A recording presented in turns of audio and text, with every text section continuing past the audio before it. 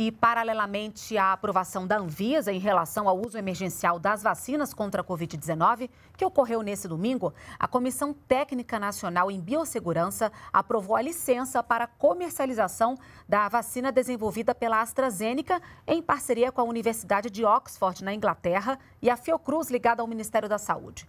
Essa aprovação foi necessária porque o imunizante tem material geneticamente modificado na composição.